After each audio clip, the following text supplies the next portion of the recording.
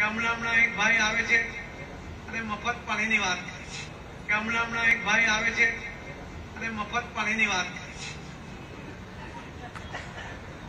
આપણા અહીંયા દરેક બંગલામાં સાહેબ ચારસો ને સાઠ રૂપિયામાં એક બંગલામાં પાણી આપે છે વરસના ચારસો ને સાઠ રૂપિયા એમાં બધા વેરા આવી જાય છે આ ચારસો સાઠ ને ત્રણસો પાસઠ દિવસમાં ગુણીએ તો એક રૂપિયા ને દસ પૈસા જેવો રોજનું થાય એમાં એક બંગલો હોય, એ બંગલામાં પતિ પત્ની બે બાળકો હોય, એને ત્યાં બે નોકર હોય, એને એક નાનું ગાર્ડન હોય, એને ત્યાં એક ડોગ હોય, એને ત્યાં એક ગાડી હોય, આ બધું જ આ પાણીથી ધોળાવે.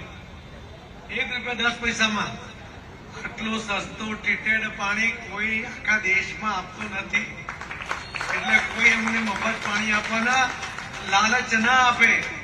આ આવું શુદ્ધ એકવાર પીને જો કે અહીંયા આવીને પાણી પીને જાય છે ને એને બી લાલી આવી જાય છે. કે કે ગુજરાત